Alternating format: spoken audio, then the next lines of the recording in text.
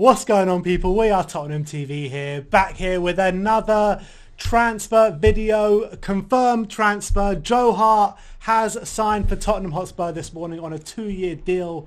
Um, as you can see up on that screen, Joe Hart holding up the famous Tottenham Hotspur shirt. What do you make out of this transfer? Yeah, well, obviously we, we got an inkling yesterday um, that this was going to go through today. He had his medical yesterday; it was very well documented, and then we've been it's just been officially announced.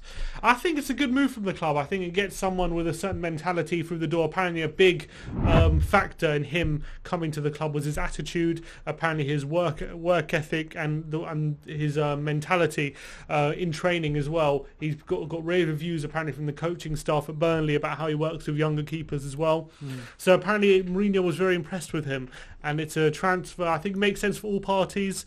Um, we get a homegrown player in the squad, and I think he has a player with a lot of experience, a lot of experience winning trophies as well. And I think he has that mentality of expecting more from everyone. So hopefully he can push us on a bit. And he's got that leadership quality about him as well. You know, he's been a captain at big clubs before. Um, you know, won the league twice with Man City. Um, he was England's number one for a, a moment in time. But kind of fell off the rails after he left Man City, didn't he? Because he got pushed out the club by Pep Guardiola. And then after that, he kind of, his career just kind of faltered away, didn't it? Yeah, he had a really tough time at Torino, really bad time, uh, especially the Italian press hammering him week in, week out. Um, and then I he, think it was a bit unfair though, you know. I mean, he made a few high-profile mistakes, but all in all, he wasn't that bad at Torino. he was. Yeah, he was? He, was. I can trust me. Um, um, he went to Italy as England's number one, and they really exposed a lot of some big flaws in his game, especially um, quite uh, famously his low shots down to his left. He's really, really weak at, and he was exposed time after time. The the uh, Italian media are harping on at him. You got to just hit it low to his left, hit it low to his left, and then people started doing it, and it started working. Really? Yeah, and it was really, really bad for him. And I think it hit his confidence corrected then. it hit his confidence really high, and obviously he made some real high profile mistakes. Then he moved to West Ham, had a really tough time there as well. Just wasn't getting in. There. He actually got in the team, but but again making a lot of high profile errors. pushed out for Adrian there? Was it Adrian or was it? He got, put. I think he got pushed out from Adrian, but I think he started the season as their number one as well, Mm. and just really faltered quite badly. He was actually in goal when Rooney scored that goal from the halfway line Yeah. for Everton. Yeah. He was he was the keeper who made that mistake. Um, had a tough time there. Then he got released by West Ham. He went to Burnley, and then again was first choice for a few games, but ended up not being up to Mm. standard. And I think it's just a confidence thing. It's a mentality thing from Joe Hart. And apparently, as well, one of the main reasons he was excited to come to Tottenham is because Mourinho is very good at getting into the psychology of players and getting into their into their heads. And he was quite excited to maybe he could potentially fix some of the issues that he's having from a confidence standpoint.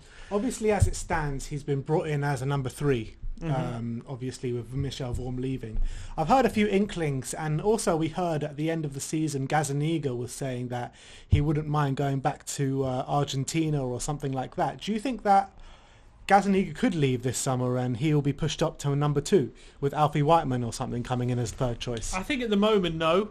I think at the moment Gaza will go into the season as number two. I don't think there's any talk of him leaving, but I, I think Hart has come into the squad to, to compete for that number two position. I don't think he's come to the squad like uh, Rob Green or Scott Carson just to sit there and um, make up the numbers in the squad. I think he actually has um, ambitions of potentially playing, and I think especially given our big start to the season and all the games we're playing, I think he might well he might well get a chance Well, in those know, games. It's not like he's an outfield player where he'll need like goalkeepers don't really need that much rest. I know, but but but the, but the true volume of games we're playing is unprecedented. So I think he might get a chance. Maybe maybe the a EFL. Week. We're, in the- twice, twice in two weeks, we're going to be playing two games in 48 hours or something. Yeah. So I think that. I think in the EFL Cup he might if we get um, if he if we progress or in the third round he might get a chance in in, in those games.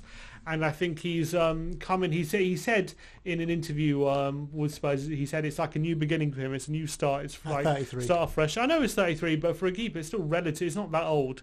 So it's, he's not young, but he's not exactly. He's not. He's not exactly Rob Green. He's 40. But look, we've signed Brad Friedel at 40 years old. Exactly, he was class, Brad Friedel, when he came into the side. I think um, Joe Hart has a lot of experience, and I think um, it'll be good for the young keepers as well. If he if he Mm. works, if he spends a lot of time working with them closely, uh, um, hopefully he, he can bring them on and give them some good tips and uh, how to be a top class keeper. And I know he's had a really tough couple of years. He said that himself, but hopefully he can regain some of the confidence he used to have because he used to be a very confident keeper. Yeah. He used to be very loud and very vocal. I think that whole episode with Pep Guardiola really shot his confidence. Mm.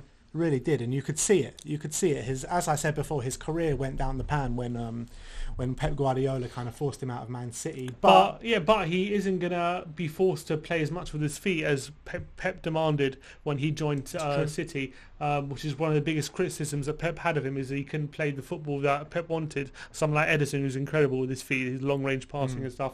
Um, at Spurs, Hart isn't going to be made, isn't going to be required to do as much of that kind of stuff whenever he does play, if he does get on the pitch. So, I think. Um, I think it's just a, it makes sense, and he's taking a wage cut as well. Just shows his commitment to the cause, and shows that he really wants to be at Tottenham. Apparently, he had offers in, in lower divisions like at Blackburn and Derby. He was offered contracts, and he um, turned them down because he, he just the chance of uh, playing at the highest level one more time um, appealed to him more.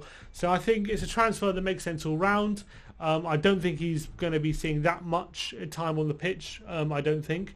But I think it's also a player where if we, we do go down to our third choice, um, he's a he's one of probably the best third choice keeper you could probably ask for. yeah, no, He'd probably definitely. upgrade on form.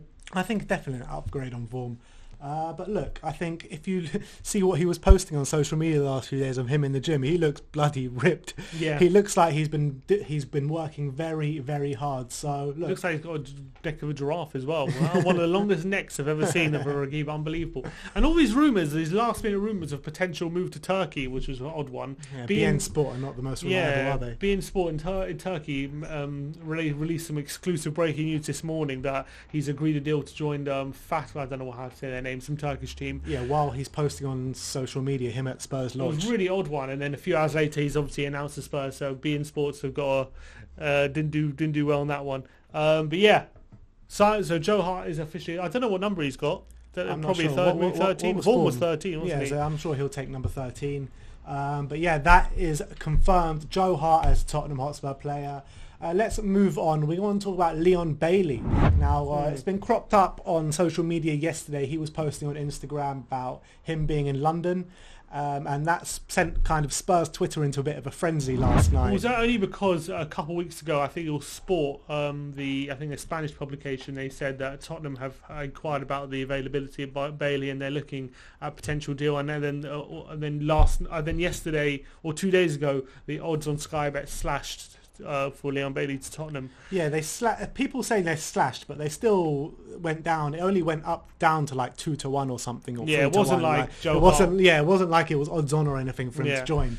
So I don't think it's too much to get excited about. Let's be No. honest. Um, obviously, everyone would love Leon Bailey at Tottenham, but as seeing as we just signed Steven Bergwijn, it doesn't really make too much sense to me. I think he's a player who can play on the left and the right. There's, um, I think, um, ob- obviously he offers that versatility. I think he's been such a good player for Leverkusen the past couple of years. He's still young, like 23. Yeah, 20 23, 24. Yeah, so he's still got a lot of uh, scope to improve. He's a winger who has a high, quite a high ceiling. Um, obviously, and uh, there was rumours. Uh, the Athletic was saying that, that Tottenham, if there was money left over at the end of the window, could potentially be looking in the market for a winger. Yeah, I don't think Bailey's just going to cost money left over though. No, he's going to cost you at least thirty million, probably. I'm thinking. So and the rest. I, yeah, I don't know. I don't know how much more. Uh, probably yeah, between thirty and forty million. I don't think any more than that. Um, and I, obviously he would be a perfect replacement should Lamela leave. I think in in that potential, he'll be competing for a first team spot, wouldn't he? If you, if, So look, I would love Bailey to come. It would be perfect for our squad, but I just can't. I can't see this being done. I think this is this is one is only going to be done at a cut price deal late in the window if it's like one of those things where Leverkusen want to sell, it's not like they're desperate to sell him though, are Uh, they? especially if they're going to get money for Havertz. Mm, Definitely yeah. not. I think he could. He's a potential star by Bailey, and I think he's, he's a young player with a lot of potential. Um, but I think the him being in London, it's just all talk at the moment. I don't think there's anything serious about it. I haven't heard any serious links just yet. But I would love Bailey at Tottenham. Yeah, who wouldn't? Uh, but anyway, that is your Tottenham update today. Joe Hart has signed for Tottenham. Leon Bailey is in London. What's he in London for? Nobody knows. We- I'm sure we'll soon find out. Like, subscribe, and comment below. And as always, Come on, you Spurs.